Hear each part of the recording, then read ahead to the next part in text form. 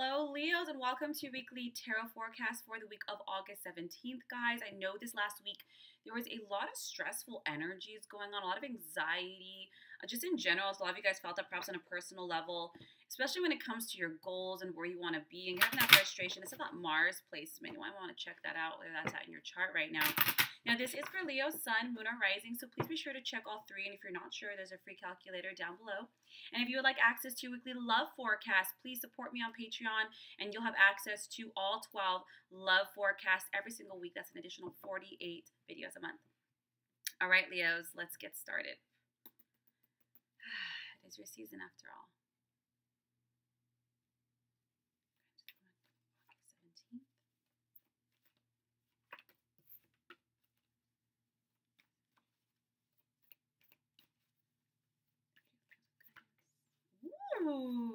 Yes, yes.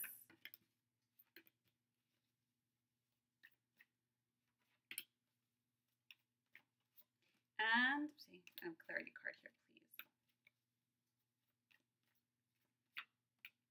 Okay, and a theme for the week.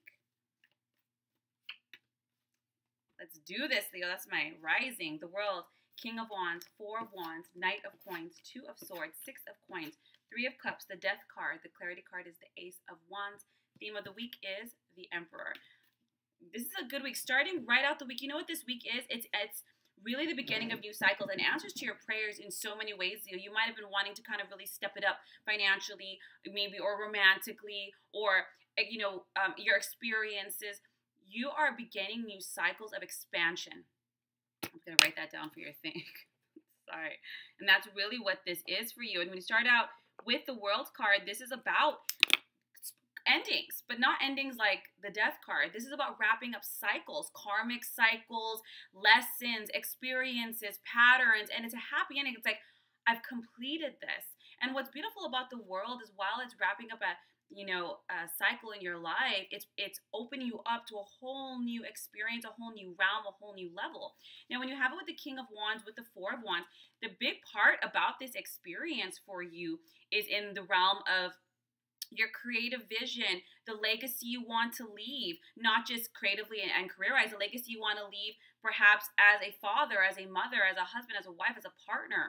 So these are, are areas that you're trying to create in your life. So when you think about, you know, your vision, you can think about, you know, your drive, your what inspires you. You know, maybe you want to write that book or start that business or that nonprofit. Maybe you want to have that podcast. You really want to get this idea or these thoughts out there because you're thinking, how can this serve the bigger picture? How can I leave a legacy?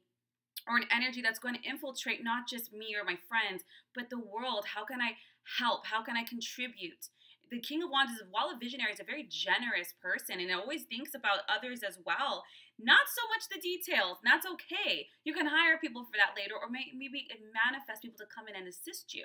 But this is a bigger vision, and you have it with the Four of Wands. So not only is this vision that you're going to implement going to be successful financially. A Four of Wands is all about abundance and prosperity, buying that house you've been wanting, really having a foundation to grow from. It's not just that way, but it's also on a personal level. The Four of Wands is the card of marriage, sharing your home with somebody, having a family. It's your own like physical legacy, you know. And of course, it doesn't have to be biological.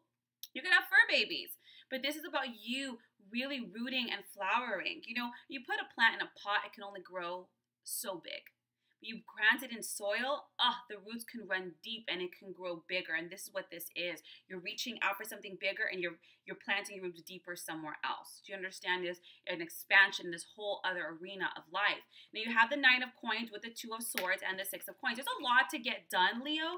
A lot of things. And it's not just like, oh my God, five million things in my plate. It's a lot of unfinished things. You have a lot of commitments, ideas, and goals that you must honor, and you're gonna buckle down and get that done. For some of you, you might even have a masculine energy that's looking out for you and kind of helping you along. But there is so much to accomplish. Will it take a lot of energy? Yes, but it'll also take a lot of excitement and verve.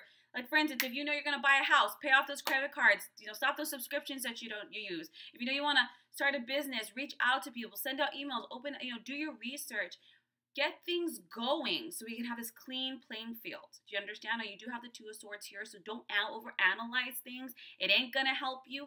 Sometimes when we overanalyze, we think we're you know, figuring things out. No, you're just procrastinating. You're going in circles mentally because that's where the problem started. So if you think you're to have a solution there, I think not. Everything will be better if you just make decisions, especially financially. You have that six of coins here. So I know a lot of your concerns, guys, are you're stressed with money. So um, you, I'm not saying things are going bad, but maybe you are buying that house, that car. Maybe you are investing in something like, oh my God, I'm strapped. Or what if I do this and things and my my business doesn't go? You know, it's that that negative thinking, but it's also stress. Understand that as you serve, as you give, so shall you receive. Now, I'm not saying to give in that spirit, but understand when we get really freaked out, we can become really egocentric. Like our whole world revolves around us. And it only makes it only digs the hole deeper. So do yourself a favor. You have the six of coins with the three of cups. Focus on somebody else. Go help somebody move. Go help somebody figure out their problems. Go help somebody clean out their closets or go be a, a shoulder to lean on. Focus on somebody else. And when you do that, not only do you serve, but you let go of lack energy in your own field. You raise your vibration because you're coming from a heart centered place when you help somebody else. And guess what? All the manifestations that are already lined up in your, your field, they flow on in. And if you can't do that, just go have fun. The Three of Cups is go celebrate. Celebrate the good things. You know, there's probably tons of things, Leo, that have been lining up for you. And instead of really just being excited and enjoying it, you're just stressed. What about this? And what about that? I get it. I'm a rising. But it's not necessary. Just celebrate the little things. Screw it. Life will figure itself out. Cross that bridge when you get to it. And I know, trust me, I understand exactly what you're feeling. But it doesn't help us and it's really bad on our nervous system. So go out, have fun, go to the beach, go to the park, go on a hike. Now you do have the death card with the ace of wands. That's the clarity card. The death card is endings. Let go of the past. Don't be afraid to embark on this new journey. Don't be afraid to bite off more than you can chew. You're going to be able to handle it. I promise. When you have the Ace of Wands, it's because old ways is, is going and new opportunities, new jobs, new careers, travel, even moving. You know, this is all coming in. And yeah, it's going to be vastly different than before, but isn't that what you want?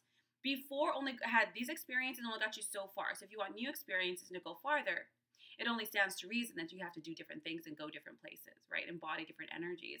You're going on a whole new, embarking on a whole new journey. A whole new journey, Leo, and I'm so happy to see this for you. The theme of the week is the Emperor, taking control of situations. Remember, we have that Knight of Coins.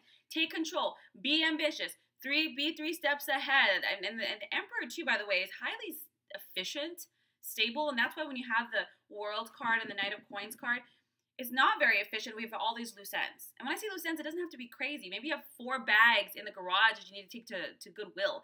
Maybe you have to finish out sending off that paperwork. Wrap up all the loose ends. Take control of your schedule, take control of your vision, and get what you can get done. Get it going.